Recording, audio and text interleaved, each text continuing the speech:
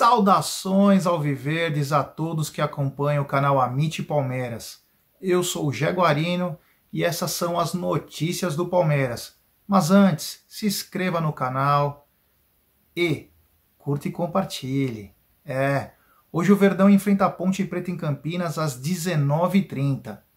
O Palmeiras deverá começar o jogo, essa é a provável escalação que o Vanderlei sinalizou com o Everton, Marcos Rocha, Felipe Melo, Gustavo Gomes e Vitor Luiz.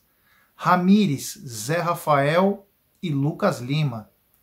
Dudu, Luiz Adriano e William Bigode. É, vamos ver se realmente ele vai manter ou se vai voltar algum atleta. Minha opinião, precisa também dar ritmo de jogo, concordo com o Vanderlei, apesar do Gabriel Menino estar muito bem, apesar de não ter ido tão bem no jogo contra o Red Bull, eu, eu gosto também que dê um pouco de ritmo de jogo, tem que dar para os caras. O Vanderlei sinalizou isso na entrevista que ele deu para a TV Palmeiras, dizendo que ele não quer queimar etapas, ele sabe do potencial dos garotos e que vai precisar de todos, que são quase 80 partidas no ano, mas ele também quer dar um pouco de ritmo de jogo para saber também dos veteranos com quem ele vai poder contar. Até porque nessa mesma entrevista o Vanderlei disse que vai precisar de algumas peças, que são de contratações. Então podemos esperar um ou outro jogador também chegando ao elenco alviverde.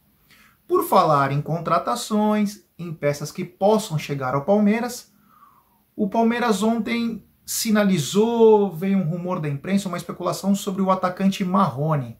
É, esse atacante do Vasco da Gama, é, supostamente o Vanderlei, que treinou ele ano passado no Vasco, o Palmeiras estaria interessado. Inclusive, o, a proposta que o Palmeiras gostaria de fazer era de ceder alguns jogadores que não, que não fazem mais parte do, do, do interesse do Vanderlei, como Gian, Guerra, enfim, e uma outra composição em troca do jogador do Vasco, que é um atleta muito novo mas o Vasco ainda quer dinheiro, então o Palmeiras recuou nessa negociação.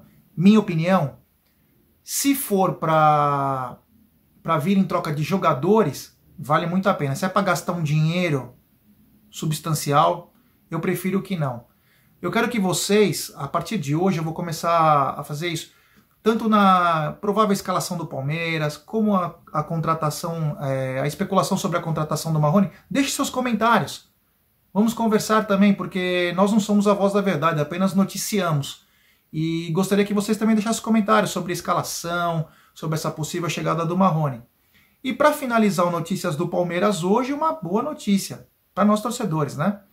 É, o Vanderlei já sinalizou que teremos três treinos no Allianz Parque, sendo que um dos treinos será aberto à nossa torcida. Bacana, né? Para todo mundo conhecer. Às vezes quem não conhece o Allianz Parque venha trazer a família para conhecer. Os treinos serão dia 12, 14 e 15. Vamos ver qual, qual deles será aberto.